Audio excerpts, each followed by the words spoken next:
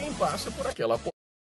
Toda semana alguém passa por aquela porta, mas dessa vez vai ser pra entrar na casa. Depois de tantas eliminações surpresas, que tal uma visita surpresa no BBB?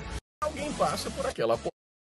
Toda semana alguém passa por aquela porta, mas dessa vez vai ser pra entrar na casa. Depois de tantas eliminações surpresas, que tal uma visita surpresa no BBB? De quem não fala nossa língua e ainda chega com uma missão secreta. Fiquem ligados!